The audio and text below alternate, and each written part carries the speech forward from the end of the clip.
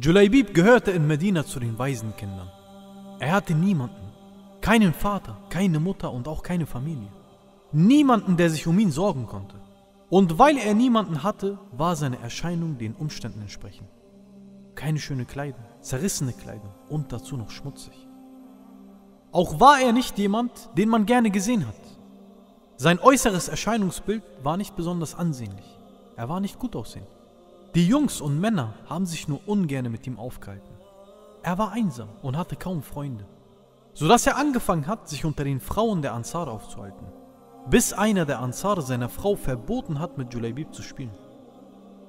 Eines Tages rief der Prophet sallallahu alaihi wasallam Julaibib zu sich und fragte ihn: Ja, Julaibib, warum bist du nicht verheiratet?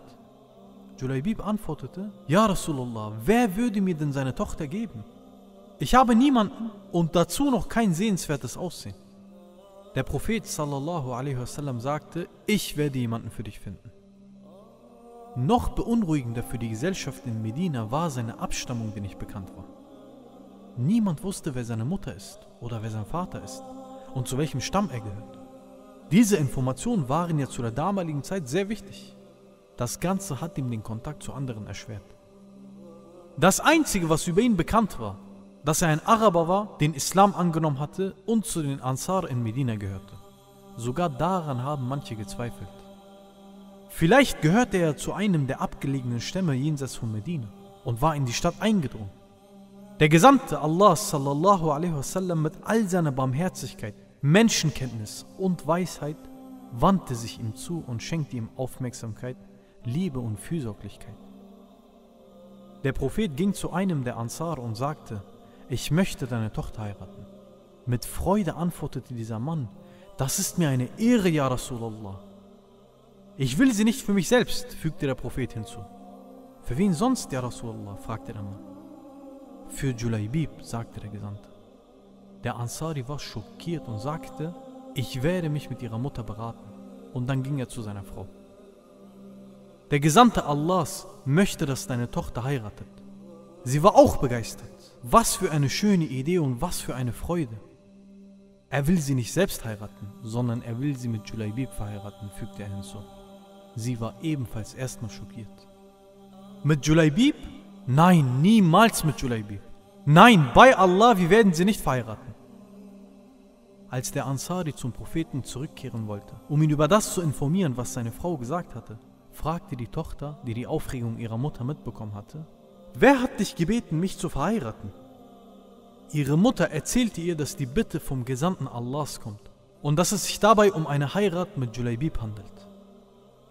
Als sie hörte, dass die Bitte vom Propheten sallallahu alaihi wasallam kam und dass ihre Mutter der Idee völlig widersprach, war sie sehr beunruhigt und sagte, Weißt du die Bitte des Gesandten Allahs zurück?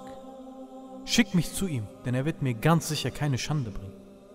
Das war die Antwort einer gehorsamen Frau auf die Anfrage des Gesandten Allahs. Und es ziemt sich weder für einen gläubigen Mann noch einer gläubigen Frau, dass sie, wenn Allah und sein Gesandter eine Angelegenheit beschlossen haben, eine andere Wahl in ihrer Angelegenheit zu haben. Und der, der Allah und seinem Gesandten nicht gehorcht, geht wahrlich in offenkundiger Weise irre. Dieser Vers wurde offenbart, als Zainab bin Jahsh und Zayd ibn Haritha heiraten sollten. Eine Ehe, die vom Propheten arrangiert wurde, um den egalitären Geist des Islam zu zeigen. Zainab war anfangs sehr angewidert bei dem Gedanken, Zayd, einen ehemaligen Sklaven zu heiraten, und sie weigerte sich. Der Prophet sallallahu alaihi wasallam überzeugte sie schließlich und sie haben geheiratet. Die Ehe endete jedoch in Scheidung und Zainab war schließlich mit dem Propheten wassalam, selbst verheiratet. Es wird gesagt, dass das Ansari-Mädchen den Vers ihren Eltern vorgelesen hat und sagte, ich bin zufrieden und unterwerfe mich dem, was der Gesandte Allahs für mich gut heißt. Der Prophet hörte von ihrer Reaktion und machte Dua für sie. Ja Rab, schenke ihr im Überfluss Gutes und mache ihr Leben nicht zu einer Erschwernis. Es wurde zum Dschihad aufgerufen und Julaibib erklärte sich bereit daran teilzunehmen. Nach diesem Kampf suchte der Gesandte Allahs nach Überlebenden und er sah Julaibib radiallahu an neben sieben Götzendienern. Noch bevor er eine Nacht mit seiner Frau verbracht hatte, verstarb er in dieser Schlacht.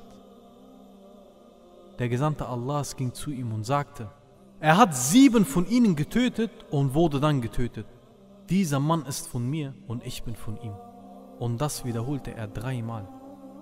Der Prophet sallallahu wasallam hat ihm dann ein Grab gegraben und ihn eigenhändig reingelegt.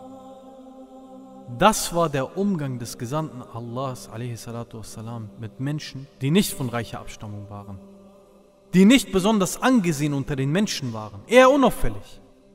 Trotzdem hat er diesen Menschen den nötigen Respekt und die nötige Empathie geschenkt. Wie ist das heutzutage bei uns? Hast du was, bist du was? Hast du nichts, bist du nichts. Stellt euch einen armen Obdachlosen auf der Straße vor. Wer schenkt diesem Mann schon Aufmerksamkeit und Liebe? Die wenigsten. Aber für den Gesandten Allah wasallam war sowas selbstverständlich. Und die Haltung der jungen Ansari-Frau, die sich bereit erklärt hat, einen Mann zu heiraten, der weder attraktiv noch wohlhabend war, spiegelt den Charakter des Islam wider. Anas ibn Malik berichtet, dass die Männer Schlange standen, um sie zu heiraten, aufgrund ihrer Gehorsamkeit dem Gesandten Allahs gegenüber.